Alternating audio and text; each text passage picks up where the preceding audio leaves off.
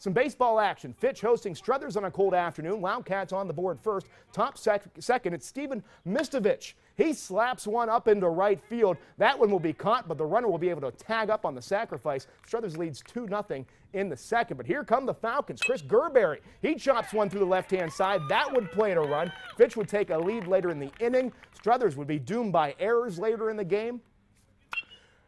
And it would be Fitch getting the W today. They win 10 to 4.